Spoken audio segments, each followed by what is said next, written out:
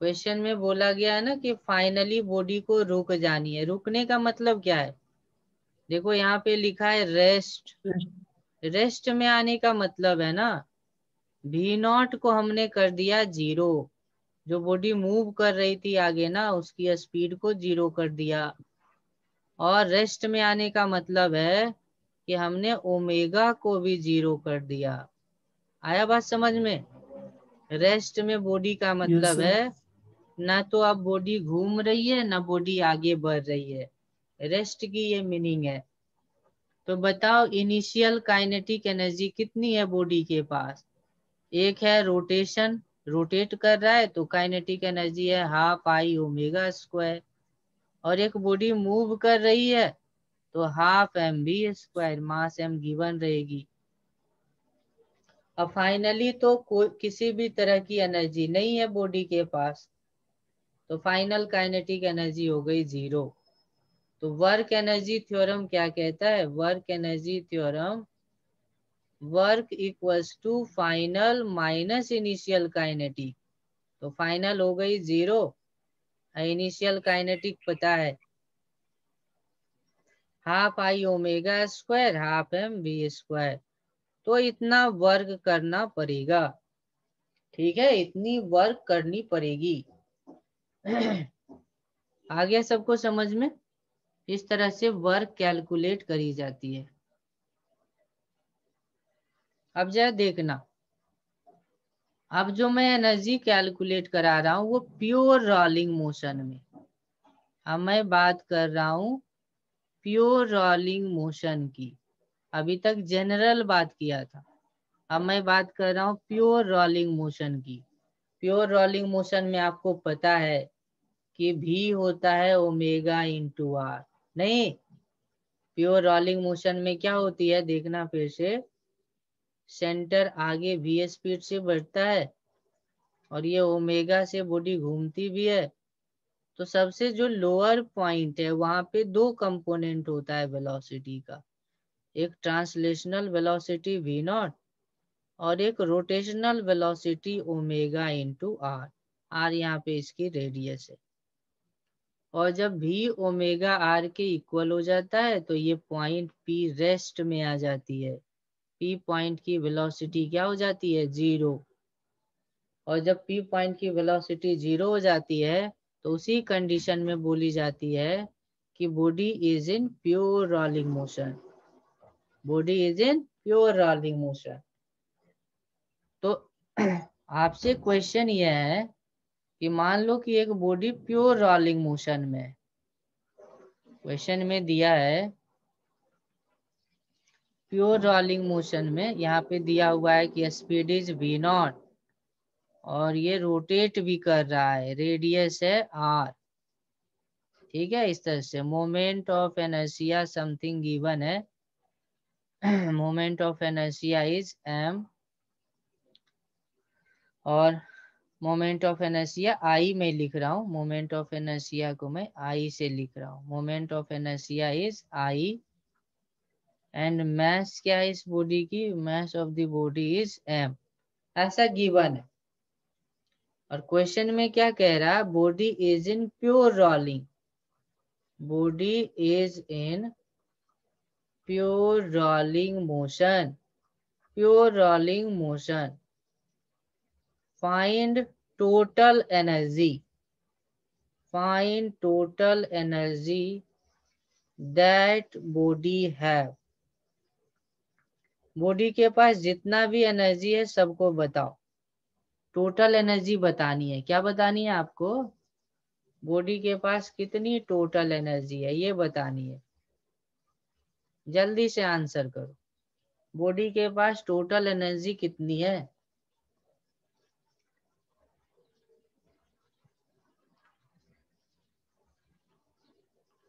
Body के पास total energy कितनी है?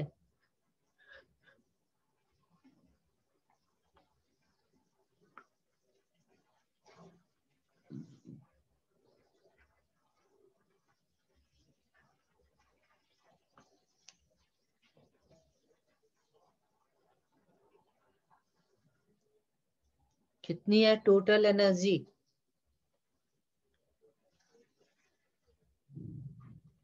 total energy of body कितनी है टोटल एनर्जी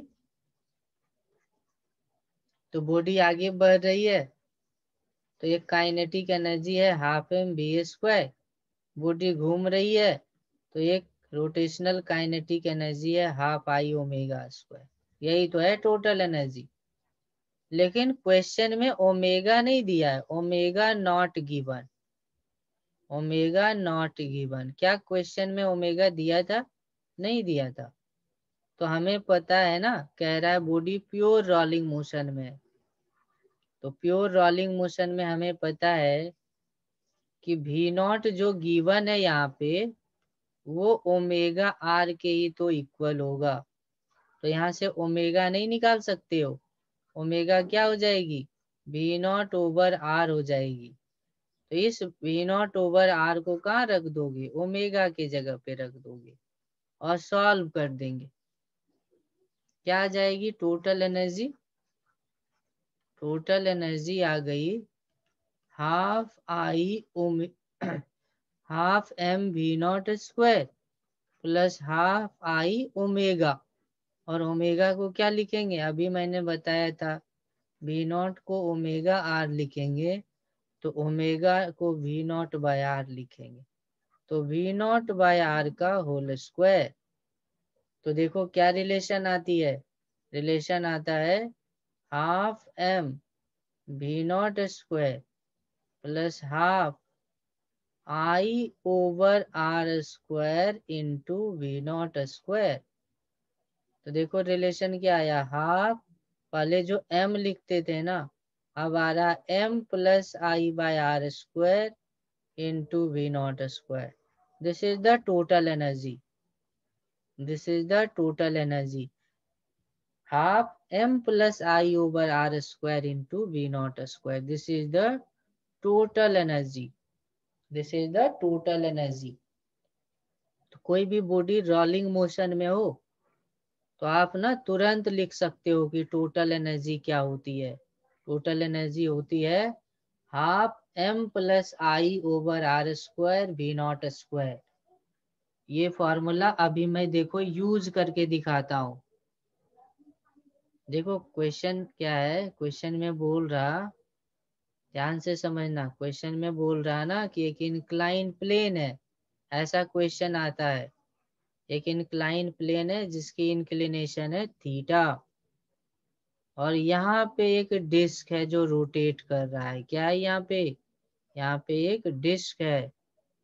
इस तरह से एक डिस्क है जो घूम भी रही है और रोटेट भी कर रही है। तो इस तरह से आगे भी मूव कर रही है और ये घूम भी रही है। और इस तरह से ना घूमता हुआ मान लो यहाँ तक आ गया, घूमता हुआ यहाँ तक आ गया, यहाँ तक घूमता हुआ आ गया।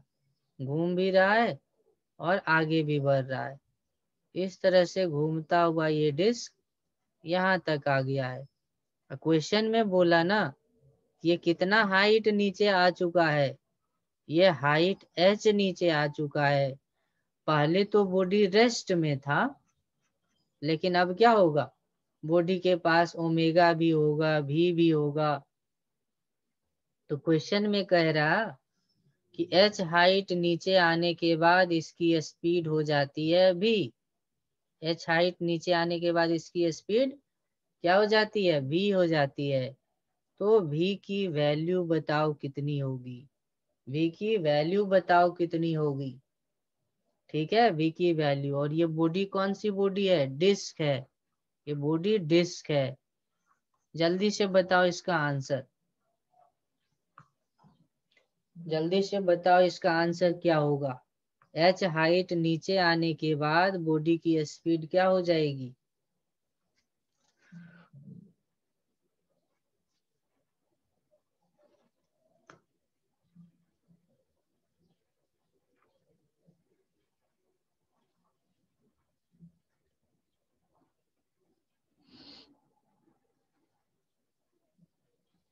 कितनी हो जाएगी स्पीड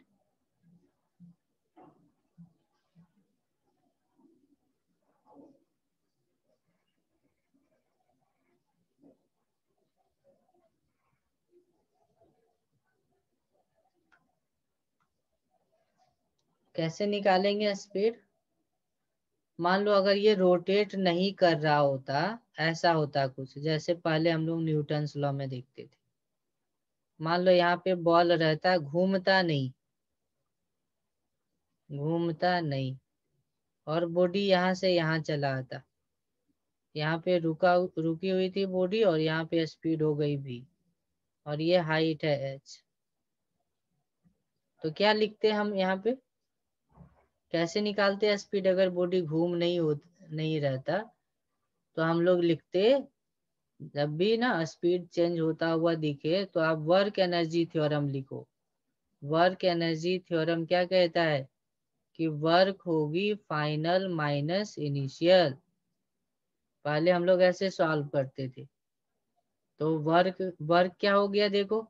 ये एच हाइट नीचे आया है तो ग्रेविटी ही तो केवल वर्क किया है तो ग्रेविटी का वर्क हो गया m g h final kinetic energy हो गया हाफ़ एम बी स्क्वायर शुरू में तो रुका हुआ ही है तो देखो एम से एम कट गया और v का वैल्यू आ गया under root two g h लेकिन ये आंसर तब होता ना, जब बॉडी केवल और केवल, है ना बॉडी घूम करके नहीं जाता।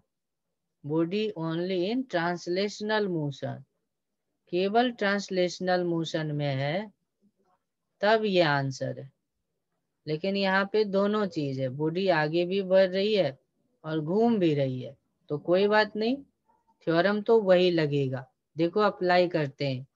वर्क एनर्जी थ्योरम क्या कह रहा है work energy theorem work is final kinetic minus initial kinetic देखो, एक ही फोर्स है जो बॉडी को नीचे ला रहा है, वो है एम जी और एच हाइट नीचे आया है।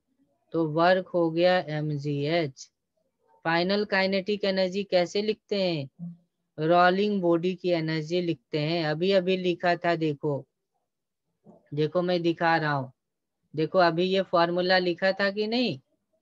कि रोटेटिंग बॉडी की काइनेटिक एनर्जी कितनी होती है? रोलिंग बॉडी की रोलिंग बॉडी की ये एनर्जी है। अभी अभी तो लिखा था कि रोलिंग बॉडी के पास ये एनर्जी होती है। तो यहाँ पे फाइनल काइनेटिक एनर्जी आ गया half m plus I over r square into v square initial तो ज़ीरो था। तो ये हो गया m g h equals to half m अब बताओ डिस्क दिया है क्वेश्चन में तो डिस्क की मोमेंट ऑफ़ एनर्जिया क्या होती है? डिस्क की moment of inertia very good m r square by two तो जब यहाँ पे m r square by two रखेंगे तो आ जाएगा m by two r square से आर स्क्वायर कट जाएगी. यहाँ से देखो मास कॉमन आएगा मास भी कट जाएगा. तो क्या आया relation g h equals to one by two यहाँ one plus one by two three by two आया है वी स्क्वायर तो वी स्क्वायर का वैल्यू देखो आया four by three g h तो वी की वैल्यू क्या आती है? वी की वैल्यू आती है under root four over three g h v की वैल्यू क्या आती है? Four over three g h देखो, ये दोनों आंसर अलग है. ये दोनों आंसर ना अलग है. जब बॉडी केवल ट्रांसलेशनल मोशन में हो तो एनर्जी ये आता है। लेकिन जब बॉडी रोलिंग मोशन में हो तो आंसर ये आता है। है कि नहीं? तो रोलिंग मोशन और ट्रांसलेशनल मोशन दोनों में बस एक ही थ्योरम लगाया। वर्क एनर्जी थ्योरम यहाँ पे भी लगाया और एक यहाँ पे भी लगाया। कोई डिफरेंस नहीं है। वर्क भी वही लिखा। केवल एनर्जी में जो हाफ़ एम बी स्क्वायर लिखते थे एम के साथ आई बाय आर स्क्वायर का टर्म आ गया है। है ना? तो इस तरह से लिखते हैं वर्क डन को। एनर्जी को इस तरह से लिखी जाती है। आ गया बात समझ में? अब एक और क्वेश्चन में दे रहा हूँ। Energy conservation work energy theorem ही लगाना है। देखो क्वेश्चन में क्या कह रहा? क्वेश्चन में कह रहा है ना कि यहाँ पे एक सॉलिड स्फेयर है। कौन सी स्फेयर है? सॉलिड स्फेयर है। सॉलिड स्फेयर ना यहाँ पे सरफेस रफ है। यहाँ पे सरफेसेस जितने भी दिख रहे हैं ना, वो रफ सरफेसेज है। और यहाँ पे स्पीड दिया गया है वी नॉट यहाँ पे स्पीड क्या दिया गया है? वी नॉट दिया गया है। वी नॉट स्पीड दी गई है। शुरू में स्पीड क्या दिया गया? वी नॉट और ये बॉडी घूम भी रही है। ओमेगा नॉट से। कितनी से घूम रही है? ओमेगा नॉट से। और ये बॉडी प्योर रोलिंग मोशन में है। बॉडी प्योर रोलिंग मोशन में है। तो देखो क्या होगा। ऐसे जब छोड़ोगे ना तो ये बॉडी ऊपर जाएगा। जाएगा कि नहीं जाएगा? ये बॉडी ऊपर जाएगी। यहाँ कहीं आके यहाँ कहीं आने के बाद क्या होगा? ये बॉडी रुक जाएगी रेस्ट में आ जाएगी। किसमें आ जाएगी? रेस्ट में आ जाएगी। तो आपसे क्वेश्चन में पूछा जाएगा कि बताओ कितनी हाइट जाने पे बॉडी रेस्ट में आएगी। एच की वैल्यू क्या होगी? अभी जो क्वेश्चन पूछा था जस्ट इसका अपोजिट था। जस्ट इसका अपोजिट था। तो जल्दी से आप आंसर कर दो। जल्दी से आंसर कर दो कि कितना हाइट गेन करने के बाद, कितनी हाइट गेन करने के बाद बॉडी रेस्ट में आ जाएगी। कितनी हाइट गेन करने के बाद बॉडी रेस्ट में आ जाएगी। आंसर करेंगे। फिर से वही थ्योरम लगाएँगे। सबसे पहले ये बताओ कि जब बॉडी यहाँ पे है तो इसके पास कितनी एनर्जी है? तो अभी अभी मैं बोला था कि जब बॉडी प्योर रोलिंग मोशन में हो तो उसके पास एनर्जी होती है। Half m plus I over r square into v naught square ये एनर्जी होती है। अब फाइनली तो देखो बॉडी रुक ही गया है ना तो इसके पास एनर्जी हो गई ज़ीरो फाइनल काइनेटिक एनर्जी क्या हो गई? ज़ीरो अब वर्क एनर्जी थ्योरम लगा दो। वर्क एनर्जी थ्योरम क्या कहता है? वर्क एनर्जी थ्योरम क्या कहता है? Work done equals to final kinetic minus initial kinetic अब बताओ वर्क डन कौन करेगा? ग्रेविटी करेगा।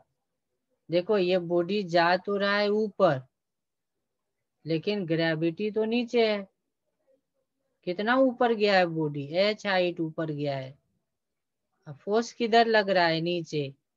तो दोनों अपोजिट डायरेक्शन में है तो वर्क होगा नेगेटिव फाइनल काइनेटिक एनर्जी है ज़ीरो इनिशियल कितनी है?